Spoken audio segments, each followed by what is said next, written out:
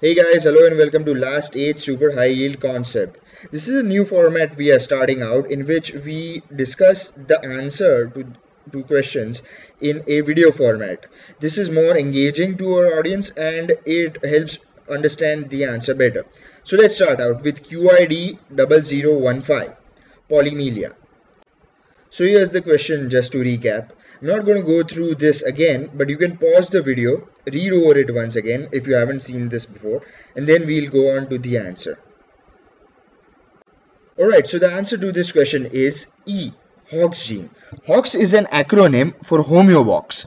The homeobox gene is a 180 base pair long gene.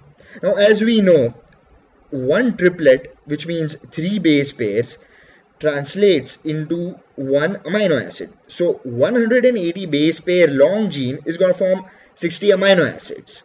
So this 60 amino acid long protein product of the homeobox gene is responsible in forming a transcription factor which is involved in modulating morphogenesis.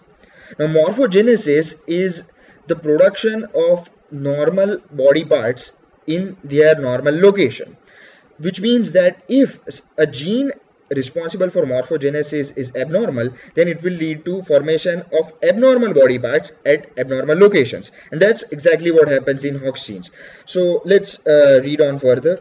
An abnormality of the Hox genes is responsible for abnormal limbs and digits.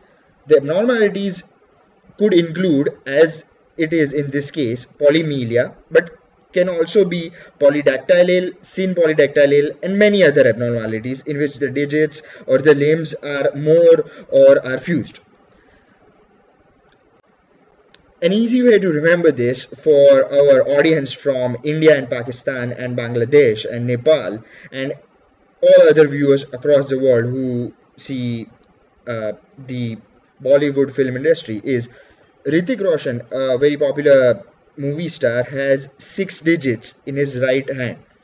Uh, that's the photograph I have put in front of you. So from uh, Hawks, Hox starts with with H, and Hrithik also starts with H. So you can kind of correlate that in your mind. Hox, Hrithik, H, H. So next time when you see Hox written anywhere, first thing you gotta see is Hrithik. All right. So the other options are Option A, sonic hedgehog gene. Now the sonic hedgehog gene is responsible in normal neuronal development. That's what this uh, diagram shows. Normal neuronal development requires a normal sonic hedgehog gene. This is also abbreviated as SHH gene. The SHH gene is responsible for normal CNS development and you can imagine that if it's abnormal, if it's mutated, then it will lead to an abnormality known as holoprosencephaly.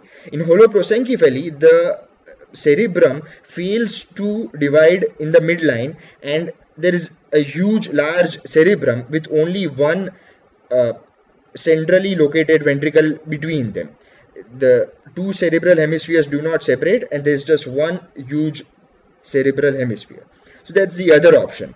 We want you to understand all the other options because you may not be asked Hox gene, you may be asked Sonic Hedgehog gene or any other option. So we're going to go through each of the options one by one and make sure you nail this down. Option B is the fibroblast growth factor gene. The fibroblast growth factor gene is not the same as fibroblast growth factor receptor. That is what is written in the first line. FGF is not equal to FGFR. The reason we wish to emphasize this is uh, extremely popular question to ask is achondroplasia. Achondroplasia is a, the most common cause of dwarfism in humans. Uh, the photo on the right shows a normal four-year-old child on the left side and an abnormal four-year-old child with achondroplasia on the right side the achondroplastic child has a FGFR3 mutation. That's a subtype of the fibroblast growth factor receptors, FGFR3 mutation. Now remember, it's not FGF, but FGFR. Examiners try to confuse you on this by giving you both options. The first option is going to be FGF.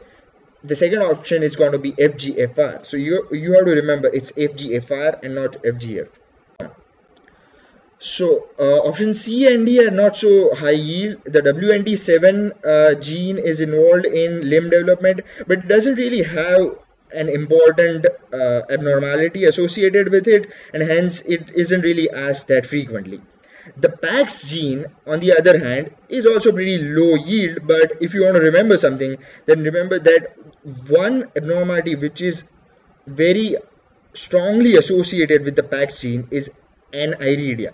Eh, this is a disease in which the person does not have iris in both the eyes so iris is the part of the eye which gives our eye, eyes the color so that that part of the eye is uh, absent in these people alright guys so the last three options are option F G and H option F is P53 gene. The P53 gene is involved with a wide variety of neoplasias. In the end, in almost all neoplasias, the P53 gene gets mutated. However, specifically, if you are asked, P53 gene is associated with which neoplastic syndrome, then the answer is Li-Fraumeni syndrome. Remember that name, Li-Fraumeni syndrome, P53 gene.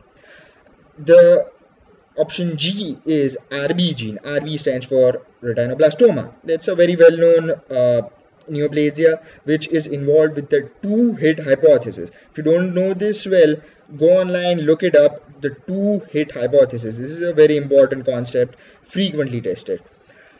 The RB gene is associated not only with retinoblastoma but also with osteosarcoma. And examiners like to go after this because you know RB stands for retinoblastoma and we have a tendency to forget that it is also associated with osteosarcoma. So osteosarcoma is also RB gene. The VHL gene, which is the last option, stands for von Hippel-Lindau. The von Hippel-Lindau syndrome is associated with an array of neoplasias, but uh, specifically uh, it is associated with RCC, renal cell carcinoma, the most. It's also associated with pheochromocytomas and retinal angiomas and cerebellar hemangiomas also. However, the most common association is the RCC, renal cell carcinoma. Below these options is a cell cycle. This is just here to jog your memory that the G1 to S phase is being regulated by, uh, by RB gene and P53 gene. The G1 to S phase uh, transition is the most important checkpoint in the entire cell cycle. So you probably knew this already but if you didn't then just go over this one more time. G1 to s phase rb and p53 g. All right so now one more bonus question. Uh, if you know this i strongly recommend you uh, type it out in a comment below this video we will be revealing the correct answer of this question in the comments below. So the question is uh, suppose we take this child and we uh, assay its cells and we try to see if the Hox gene product is present or not. Then how are we going to do this?